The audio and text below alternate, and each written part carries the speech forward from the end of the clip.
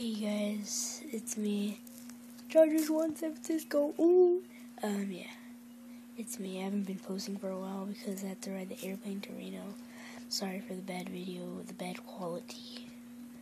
And yeah, I'm in Reno now, so I'll be posting more. But I don't think I could do that much gaming because all my games are in San Diego, where I usually live, because that's the Chargers. And yeah. Uh, yeah.